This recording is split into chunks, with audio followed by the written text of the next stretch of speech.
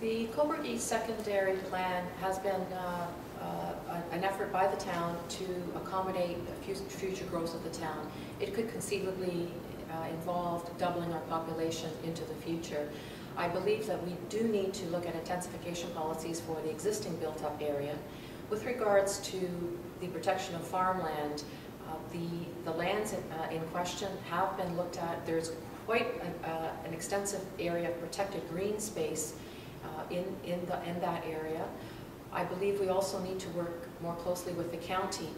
I- Our future, as far as economic development, may be in fact close, more closely tied to agriculture and the services and industries that are associated with agriculture. We have some of the best farmland here. I also think we have some of the biggest markets within 100 miles, including Toronto. So I think that there needs to be uh, a look at that. With regards to protection of farmlands in Cobourg, I support intensification within the built boundary. It's a better use of services or infrastructure because those are already in place. So if we can actually have a lower tax rate in the already built up area, it would make it more uh, positive, or perhaps more uh, beneficial uh, investment to, to actually look at redevelopment within our built up area.